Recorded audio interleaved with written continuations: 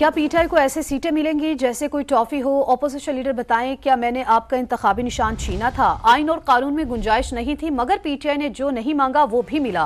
बिलावल भुट्टो का कौमी असम्बली में जारहाना खिताब। बोले, अदालत के एक फैसले ने मरी हुई जमात को मुतहरिक कर दिया। हमारी अदालतें इंसाफ भी दिलवाती हैं, डैम भी बनाती हैं, समोसे और टमाटर की कीमतें भी तय कर सकती हैं।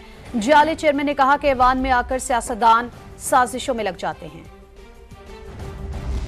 क्या मैंने आपका बल्ला चीना था? क्या मैंने आपको कहा कि आपके इलेक्शंस गलत है? अदालत ने कहा था कि ये तो इन्होंने अपने इलेक्शंस में धानली की, जिसकी वजह से इनको ना निशान मिलेगा और ये ना जमात रहेंगे। इस फैसला ने एक मरा हुआ सियासी जमात, जिनका इलेक्शन का कैंपेन का ना सरोपैर था, इनको एन वक्त में ऐसे फ़ायदा दिया कि पूरा जमात जो है वो मोबिलाइज हो गया, जो इन्होंने मांगा भी नहीं। आइन और कानून में गुंजाइश भी नहीं। इनको बस अब ऐसे दे दी ये सीटें जैसे ये टॉफी है और ऐसे आप बांटे। पाकिस्तान का जो जुडिशरी है, वो ना सिर्फ़ अदालत चलाते हैं, वो तो जनाब स्पीकर डैम भी बना सकते हैं। वो तो समोसे और टमाटर की कीमत भी तय कर सकते हैं। This is a crisis of the judiciary by the judiciary and for the judiciary